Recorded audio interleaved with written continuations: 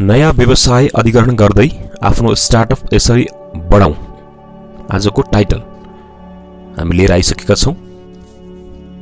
आशा छ तपाईँलाई यसबाट धेरै कुराहरू मा सहजता हुनेछ। किनकि अधिकांश स्टार्टअप आफ्नो व्यापारलाई व्यवस्थित रूपमा विकसित गर्ने उपाय पत्ता लगाएर विकास प्रयासमाथि ध्यान केन्द्रित गर्छन्।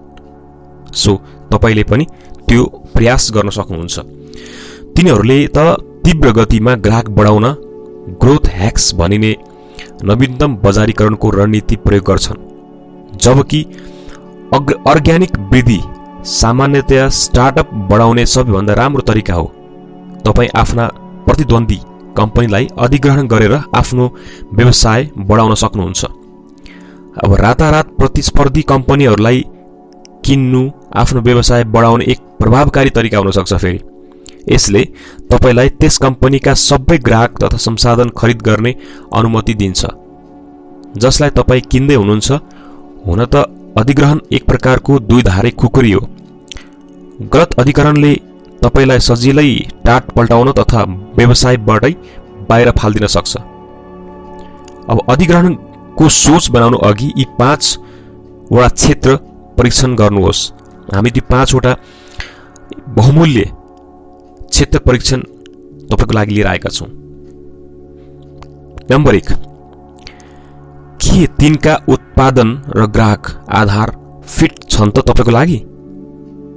जस्तै ती प्रतिस्पर्धी कम्पनी मात्र खरिद गर्ने विचार गर्नुहोस् जसका उत्पाद र ग्राहक आधार तपाईँका कम्पनीसँग फिट हुन्छन्।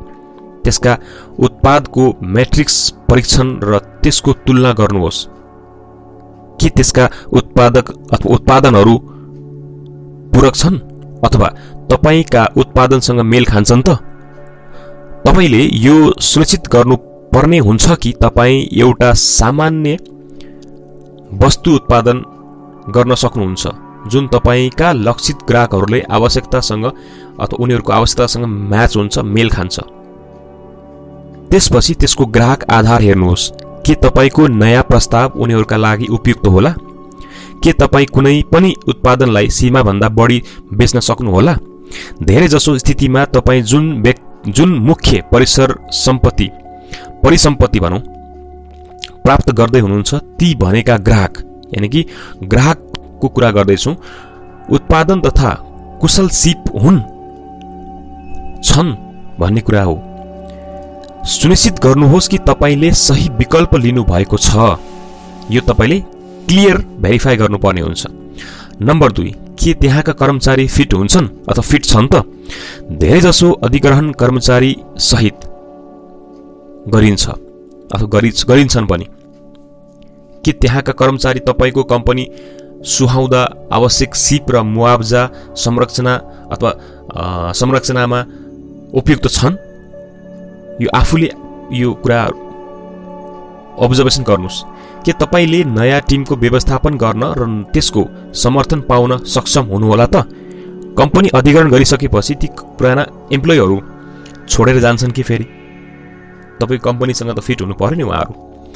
त्यस कम्पनीका अहम कर्मचारीहरू पत्ता लगाउनुहोस् जुन तपाईँ किन्दै हुनुहुन्छ र ती कर्मचारीहरूलाई कम्पनीमै बसिरहने रणनीति तयार पार्नुहोस्। दुवै कम्पनीका कर्मचारीलाई एकीकृत गर्नु बडो कठिन हुन सक्छ। यस्तो घटनामा शत्रुता असामान्य हुने हुँदैन।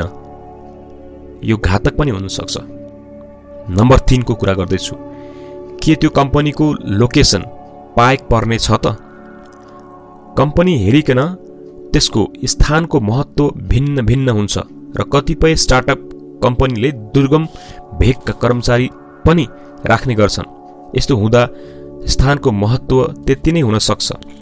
हुन त तपाईँको हेड अफिसको सम्बन्धमा केही टिमको स्थान महत्त्वपूर्ण हो। अलग अलग स्थानले भविष्यमा चुनौतीपूर्ण सञ्चालनलाई बलियो बनाउन सक्छन्। विशेष गरी त यदि तपाईँ कुनै एउटा कम्पनी बन्द गर्न चाहँदा यो कुरा लागु हुन्छ। मेरो करियरको सुरुका दिनमा म एउटा सानो कम्पनीको अधिग्रहणमा संलग्न थिएँ जुन हाम्रो पूरक कम्पनी थियो। हामीले एउटा सानो उद्योगमा काम गर्थ्यौँ र हामी भाग्यशाली रह्यौँ कि किनकि अधिग्रहण हुने कम्पनी हाम्रो हेड अफिसभन्दा केवल डेढ घन्टा ड्राइभको दूरीमा थियो। हुन त त्यो नजिक त्यति नजिक त थिएन तर पनि वरिष्ठ कर्मचारीहरू दुवै कार्यालयमा नियमित आवत जावत गर्न पाए पर्ने खालको थियो। यो निकटताले कम्पनी एकीकरणलाई निकै सजिलो बनाइदियो। तर सबै ठाउँमा त्यस्तो हुन्छ भन्ने छैन फेरि।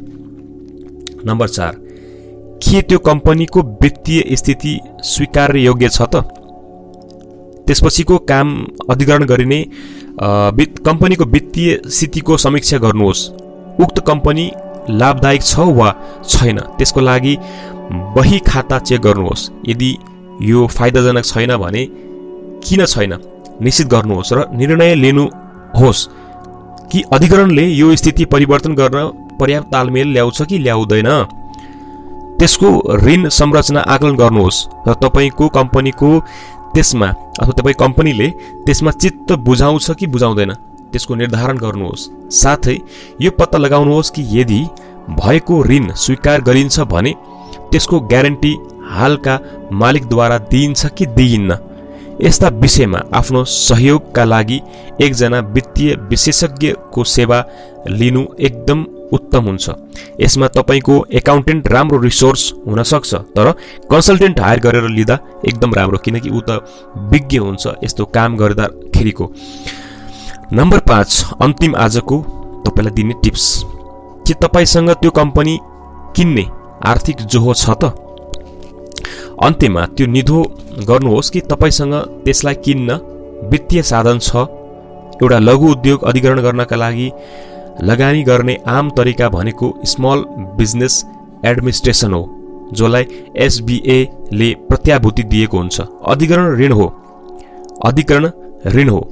परम्परागत ऋण लिनुभन्दा सजिलो हुने भए पनि यो ऋण लिँदा प्राय जटिल किसिमका आवश्यकता आइपर्छन्। अर्को ध्यान दिनुपर्ने कुरा के भने यस्तो ऋण लिँदा कम्पनी अधिग्रहणको कुल रकममध्ये दस प्रतिशत तपाईँ आफैले बेहोर्नु पर्ने हुन्छ।